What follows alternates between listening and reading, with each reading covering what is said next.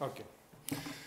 Uh, uh, probably this might be a slightly different uh, emphasis or focus. So it's, doesn't concern so much Northern Ireland, but I think that uh, someone can easily generalize some of the conclusions for my presentation in order to reconsider the structure and the nature of uh, fiscal policy. So the, the basic point, or what I would like to emphasize today, is that uh, sovereign debt still remains a big issue in uh, advanced or developed capitalist uh, economies. It might not reach the headlines as it used to be in the past, but this does not mean that it has ceased to exist as a problem. It is there, and in a very silent but effective way, it influences the decision making to significant extent. Uh, so based on this assumption, I think, or what I would try to do with this, with this presentation, which is based on the proposal which was drafted in 2014 in the context of the European Union sovereign debt crisis, is to try to argue that central banking or contemporary nature of monetary policy, at least as it was developed in the, uh, in the wake of 2008 global financial meltdown might not be a bad idea to reconsider uh, the, the problem. At, at, the more, at the more uh, specific level, this might also be more interesting for this room. Uh, the argument suggests that we cannot think or consider a fiscal policy in general or fiscal autonomy or decentralization, if you want, uh, independently from central banking and monetary policy. So this is another lesson that someone should draw from, from things, for, from, from how things have been developed in the wake of 2007. And I will try to make the point by referring to an illustration which was designed in the case of the European Union, but as I told you, uh, the uh, results can easily uh, be generalized in different contexts as well. So, okay, yes. So let's try to figure out the size of uh, the problem. What we see in this figure is the levels of sovereign debts uh, for several countries in three different years. Um, uh, as a ratio to GDP. As, and as you can see, there is an increasing tendency after 2007, which is something we already know. And we can see that most of these countries are, are, are struggling or are left at, with levels which, which are comparable to 100%. So when some of these countries are beyond that uh, threshold. And this is a major issue. This is a big problem. So in order to understand the importance of this problem, allow me to uh, proceed with a simple illustration. Forget about, forget about, I, I, will not, I, will not, I will not discuss this. But this is a very simple uh, accounting identity. I, I, will explain, don't forget about the numbers. Everything there is in terms of ratios of GDP. And this is an accounting identity which in very plain words says that the increase in sovereign debt or the debt dynamics is related to uh, the primary surplus, that is the difference between the revenue and the cost, if, uh, or the expenditure if we do not include uh, the tax expenditure, the interest rate expenditure. Uh, the relation of growth to the servicing of debt, and then inflation. So this is very simple. This is what it says. And I say, as I told you, this is an accounting identity in a sense that it's not a causal equation. So it doesn't show how the debt is defined. Why? Because we can easily think of or prove on the basis of uh, evidence of the existing literature that there are very complex interconnections between these terms. So, you know, growth influences uh, the primary surplus, inflation, or the debt has. So there, are very simple interconnection in this uh, equation, but they help us to understand or to be more specific of the size of the problem. So if we assume a hypothetical economy in which the sovereign debt is equal to the GDP, which is not far away from the sample of the countries I just showed you, and if we assume an anticipated long-term real growth at the level of 2%, which is very optimistic, it's very optimistic according to contemporary forecasts about the far future. This means that economies with inflation of at the level of one or two percent will have to grow for a long time at the ratio of three to four percent, which is very very high. Uh, so this is an optimistic uh, uh, assumption. A real effective interest rate, which is the interest rates on the total outstanding debt at the level of 3%, which is by and large um, close to what exists in this sample. This means that this country, this hypothetical country, in order to stabilize the increasing tendency of debt, will have to have a, foreign, a, a primary surplus of the level of 1% of GDP forever, just to stabilize that. And this is austerity, this is very important. This is, we're talking about a huge fiscal adjustments need to be made by economies just to stabilize these increasing churns. Okay, so this is the first uh, conclusion. Of course, debt or sovereign debt has a different aspect as well because it is, you know, a financial liability, uh, and it means that, you know, it circulates in the market. It receives a price based on uh, a particular interpretation of a series of economic, social, and political uh, events. So this prices fluctuates and this affects the yields and the servicing of, of, of debts.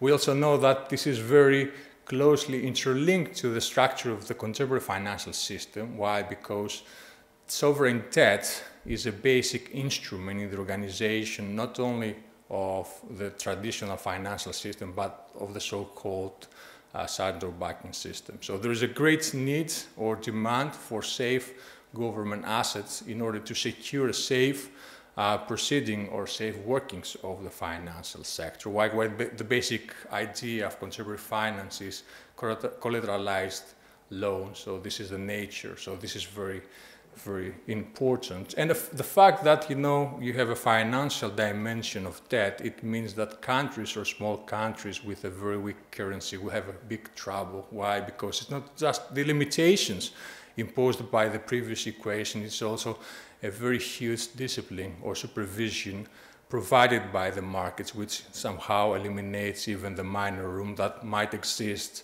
in order to have uh, meaningful fiscal or expansionary fiscal policies. So uh, things are quite different in big countries, that is, countries with a very strong currency uh, and of course our monetary union. So the thing there is that there are in place mechanisms that can interfere with this uh, supervisionary role of the market, and that's why the issue of debt becomes more political, uh, an issue of political conflict or political debate. And my proposal fits to this second country, second category of, of uh, countries.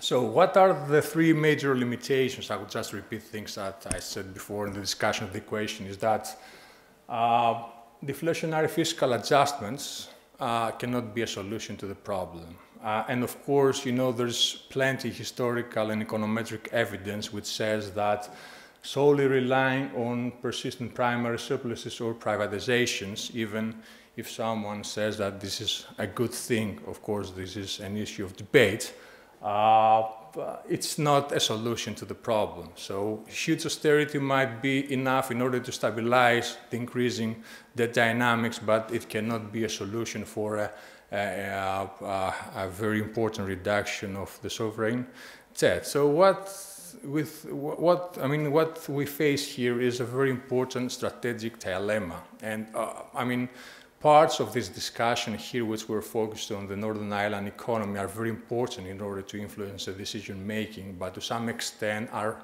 related in their own rights with this big you know, uh, policy-making dilemma, which is uh, uh, the major economy, economies uh, encounter in our days.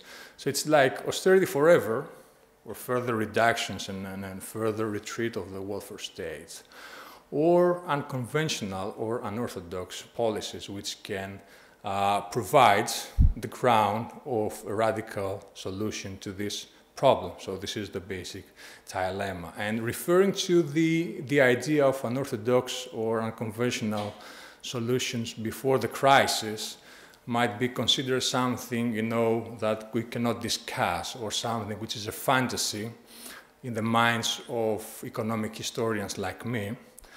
Because, you know, if we go the, and, and watch and look at the past episodes of economic policy, we can see plenty of episodes of unconventional or unorthodox monetary interventions. But uh, after 2007, this is the benchmark. So, you know, central banks and monetary policy has stepped into the ground. It has changed in nature at least uh, the basic uh, conditions in which, uh, upon which it was, uh, it was perceived before the crisis. And now the permanent character of the monetary policy is unconventional or unorthodox major intervention into the market. So this is uh, just a snapshot of the balance sheet of uh, the Bank of England. So this is the, the asset side. And it gives you the, uh, the nature or the significance of the monetary interventions. The majority of this intervention has to do with securities, not only private but different forms of public, uh, of, uh, not only public but different forms of private debt. The black line uh, measures the, the size of the balance sheet as a ratio to GDP and we can see that on the left hand, uh, hand, uh, on the left hand side uh, axis. And we can see that uh, the size of the balance sheet was uh, around 5% of GDP just before the crisis. And now, after huge interventions, uh, without being able to stabilize so much the economy, the size has reached, you know, or fluctuates around 25% of GDP. This is huge, and this is flags and indicates a tremendous nature in uh, the workings of monetary policy. So the idea is that if we have a policy, a game, game changer uh, in the context, perhaps we can use this new condition or this new nature of monetary policy to reconsider or at least discuss uh, the problem of sovereign indebtedness. Uh, similar picture uh, also applies to other major central banks. This is the uh, the structure of the asset side of balance sheet of the Fed. And this is the euro system. Uh, as you can see from the left-hand side axis, uh, vertical axis, the levels, the, the, black line also measures uh, uh, the, the, the, the amount of asset as a ratio to GDP. We also see fluctuations around 20 or 30% of GDP of the Eurozone. So all this, the size is comparable to each other in terms of, of GDP. Maybe the portion is different because we have different financial and uh, systems. I wouldn't like, I don't have the time to go into detail. So the question uh, is how much is the firepower of the central bank in order to see what we can do or how would be an efficient and productive way to use this firepower in order to radically tame the problem, the problem of sovereign indebtedness. So I, I, I, would just you know, highlight, or I would just briefly like to discuss the firepower of monetary uh, contemporary central banking in the context of an illustration, and this is based on a proposal which was drafted in 2014 and 2015 for the European Union system, but e easily can, the results or the conclusions can be used in different uh, cases.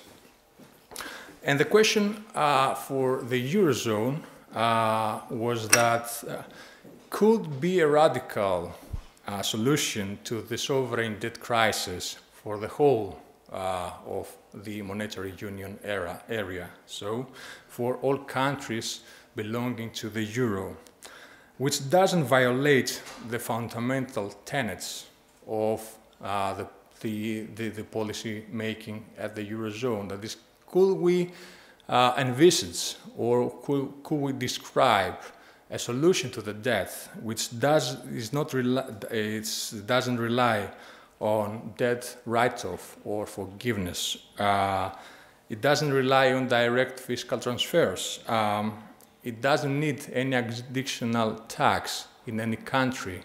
And most importantly, it is fully sterilized, which is, doesn't uh, result in an increase on the monetary basis. So, can someone use the firepower of the monetary system without violating all these basic tenets of, of uh, the European framework? And the answer is yes, and I will try to briefly describe the logic. So we can imagine a solution that has two different moments. So the first moment, uh, the European central banks buy and creates, uh, takes and creates, uh, uh all, all, takes all debt maturing in the five years between 2016 and 2020. You know, this is not arbitrary. It indicates the period in which this proposal was drafted, but of course, a similar exercise can be also follow up in, in different time periods. So the ECB takes all debt maturing and all related interest payments within these five years. And it capitalized this amount into a zero coupon bonds. And then you have individual agreements between the central bank and its individual country to buy back this uh, security when it reaches 20% of GDP. Why? Why? Because we have a discounting rate, but this discounting rate is uh, smaller than the growth. So eventually, the nominal or the market value of this security will fall. At some point, will reach 20% of GDP. So there is a buyback condition on uh, the central bank. All these, uh, all these calculations are fully are based on the assumption that every transaction is fully sterilized. So uh, uh, there's no uh, increase in the monetary basis of uh, the Eurozone. And we have a solution which, as, as, I, as I told you, doesn't violate each of the basic uh, uh, fundamental assumptions of the European monetary policy context. And this is this, the, the chart there shows what would be the cost of such a policy. And the cost is indicated by the black line there. So you can see that for the first year, uh, the cost is 60 billion uh, euros, and it uh, increasingly uh, decreases.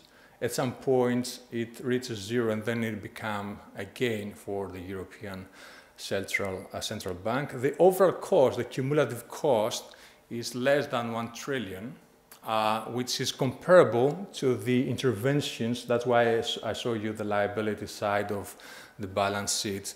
It's much comparable and, uh, to be honest, much lower than the interventions that the ECB had to do in order to deal with the financial crisis. So the cost might look high, but it's not incomparable and uh, with what has happened uh, so far. And this is how a hypothetical development of debt, we're talking about all European countries, not just Greece, would develop in the wake of such intervention. Okay.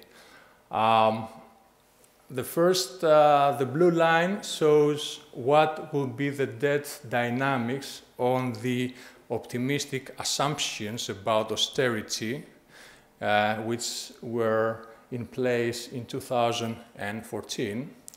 And the brown line underneath is our scenario, what will be the development of sovereign debt if such an agreement which uh, or such a solution will be uh, implemented by the European Monetary Union. As you can see, the, the results are tremendous, and of course, if we, if we take into consideration that the cost is not impossible or it's in line with the trivial interventions of central bank, you have uh, an immediate estimation of the effectiveness of this policy. So these are similar uh, scenario estimations for other European countries.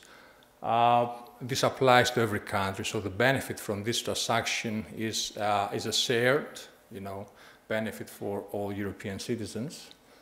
Um, so where does this leave us in relation to the, uh, the basic starting uh, argument or question of this presentation? This is Karl Polanyi. He was a very famous historian and anthropologist. Uh, he is mostly famous for his uh, um, well uh, received and well uh, much quoted uh, book, which his name is The Great Transformation, written initially in 1944. And it was written in a very particular time for Europe, which, I mean, in many different ways, it has some similarities with what is going on today, both in the economic and the political level. One of the points of Polanyi is that if, we have a, if you have a failing uh, economic order or a failing economic system which is struggling in order to find its space and its footing into, uh, into uh, the new economic environment, uh, it puts in place mechanisms and institutions uh, like you know, what we've seen with regard to the central banking. And despite, because the fact that these institutions are there, we can start discussing of how we can use or utilize the potentialities that they give us in order to come up with ideas of radical solutions to major problems that uh, uh, uh, concern uh, the contemporary advanced, advanced uh, capitalist uh, societies. And from my point of view, this is a historical lesson that we need to take with us today. What I would like to do with this discussion, with this argument, and with this proposal is to show you the tremendous, tremendous firepower and potentialities that are open to us on the basis of the current economic policy context. So I think it's, it's the time for us to start discussing radical ways in order to deal with important problems which influences many different aspects of our lives. Thank you very much.